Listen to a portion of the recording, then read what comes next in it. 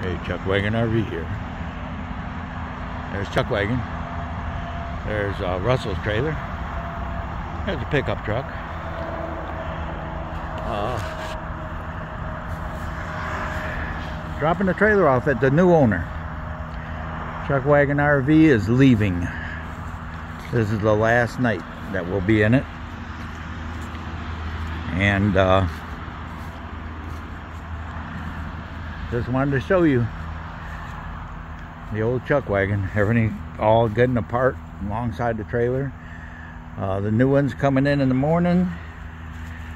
And uh, we'll get a picture of it for you.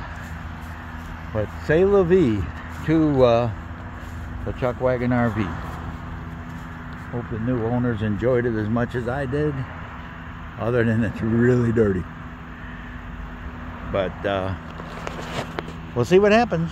See what happens tomorrow. They said they'd have it ready at 9 a.m. in the morning, so I'm going by and picking it up. So anyways, you all take care, and we'll talk soon, and we'll show you the new one when I get it here.